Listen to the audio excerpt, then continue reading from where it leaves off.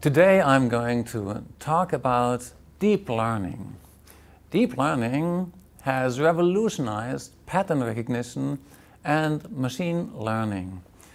It is about credit assignment in adaptive systems with long chains of potentially causal links between actions and consequences. Actions of a learning system and the consequences of that. Most of deep learning is about artificial neural networks. Such neural networks are inspired by the human brain, which has roughly 100 billion little processors called neurons. Each is connected to roughly 10,000 other neurons on average. Some of these neurons are input neurons um, that feed the rest with data, such as um, video through the cameras, audio through the uh, microphones, pain signals, hunger signals, and so on. And others, other processors are output neurons that control the finger muscles or the speech muscles. And most of the neurons are hidden in between where thinking takes place. And your brain apparently learns by changing the strengths of these connections. Um, each of the connections has a weight or a strength which says how much does this neuron over here influence that neuron over there. So these connection strengths determine how strongly the neurons influence each other.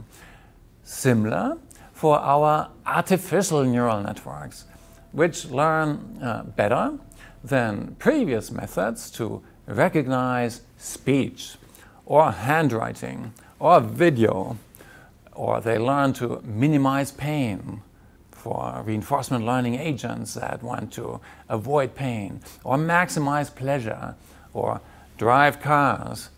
And there are millions of applications of deep learning today.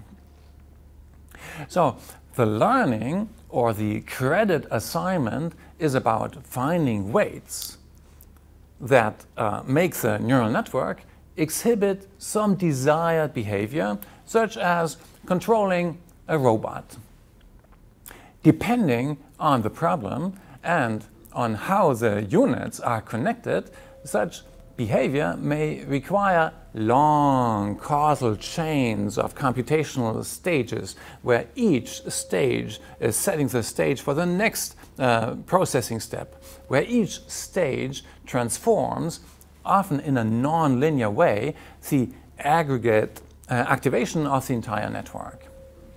And deep learning in neural networks is about accurately assigning credit across many such computational stages.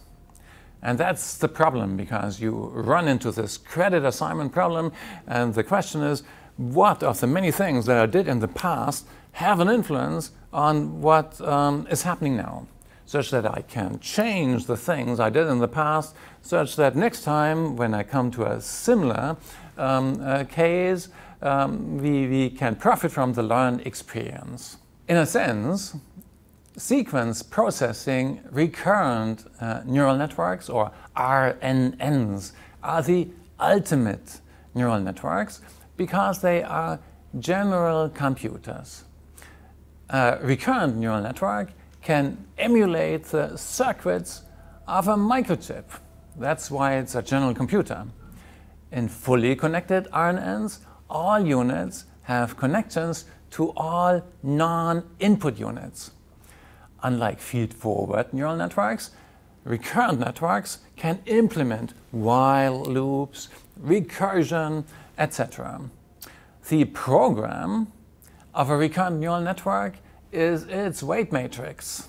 Recurrent neural networks can learn programs that mix sequential and parallel information, sequential through time and parallel information um, processing in a natural and efficient way.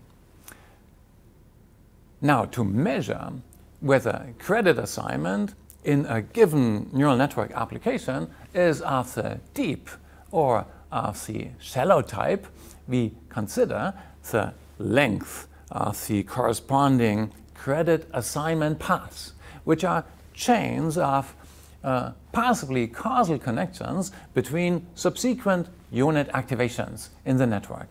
For example, from input units through the hidden units, through the output to, up to the output units in feed-forward neural networks, um, where you don't have feedback connections, or um, from uh, the input units through transformations over time in recurrent neural networks.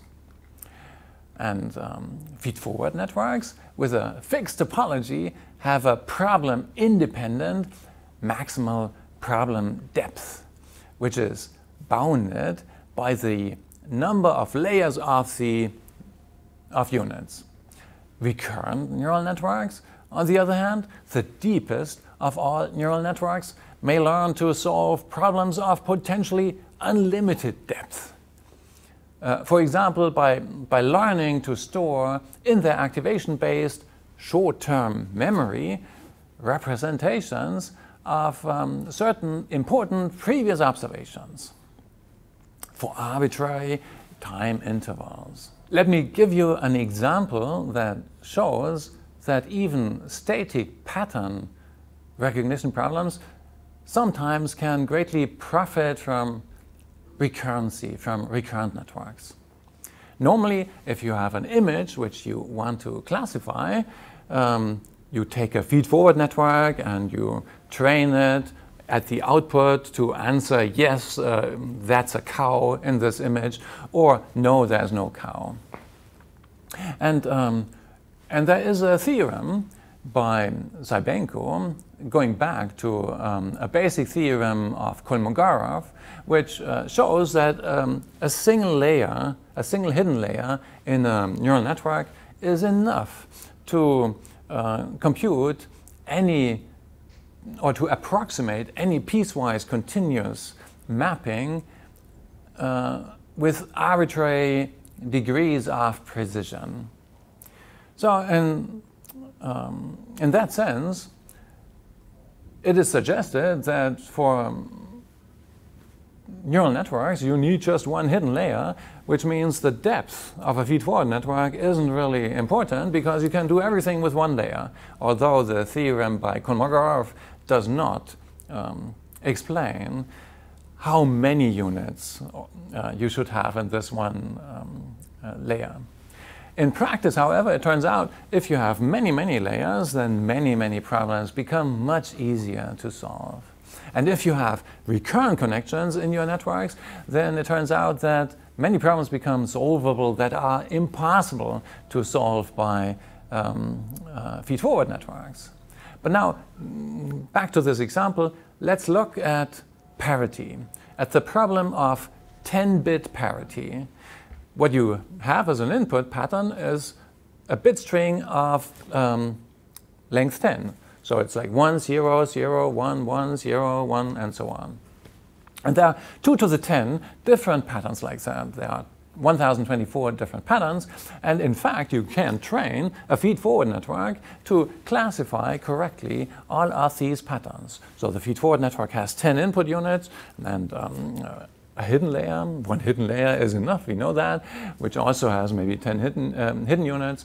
And then there is one single output unit which says yes, 1.0, in case the number of in bits, on bits is even, or uh, um, the opposite otherwise, if it's odd, if the number of on bits is odd. And you need to um, present a lot of training examples to learn this mapping. Now, the same mapping can be learned much more easily by a very tiny, small recurrent network that has only five connections. Not hundreds of connections like the network that I just described. No, just five connections. There's one single input unit where bits are read one bit at a time, one, zero, one, one, and so on. There's one additional unit which has a bias input, which is always on, and then there is one single hidden unit which has a connection to itself, and there's one output unit from the hidden unit, um, with a connection from the hidden unit and from the bias unit. And now you've got five units and uh, five weights in the system, and you have to find a program that um, that makes this recurrent network solve the parity problem, which actually is very simple because all the network has to learn to implement a flip-flop. Whenever a new input bit comes in, if it's a 1, then the internal state of the memory unit should be flipped. Uh, if it was 1, then it should become 0, and otherwise, uh, if it was 0 or close to 0, then it should become close to 1. And this um, very simple program can be implemented by five connections, and you can use the most stupid learning algorithm ever to train this network. You just randomly initialize all these connections with um, uh, weights selected between minus 10 and 10 and see what happens. Does it work on a very limited training set of three examples, like for example, a bit string of size 7, another bit string of size 15, another one of size 21. If it works, then um, you can be almost sure that it's also going to work on all other bit strings um, of unlimited length. We performed that experiment many decades ago. So a tiny network, a tiny recurrent network can do everything that this much bigger feed-forward network can do and more because the feed-forward network is going, completely going to fail uh, as soon as the input strings, the input data, has more than 10 bits, 11 bits or something, because it was never trained on that. And it can't even process 11 bits. While this recurrent network, this very simple, elegant uh, network, has the, the natural solution to the parity problem, which works for arbitrary sequences. Just to illustrate the basic um, power of recurrent networks as opposed to feed-forward networks. So um, back to our main topic of uh, deep learning.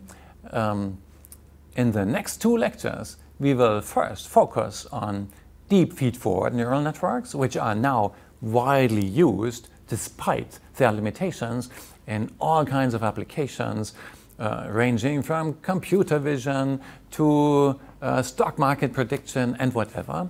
And then in the next um, part of the lecture, we are going to focus on the recurrent networks whose advantages I just explained, and there it will turn out, yes, these recurrent networks are very powerful, but you have to do extra little things to make them work. Uh, the original recurrent networks, they didn't work so well, but there's something that is called long short-term memory, and that works really well, and that's now on your smartphone and it's doing the speech recognition and uh, many other AI applications for billions of people, billions of times a day.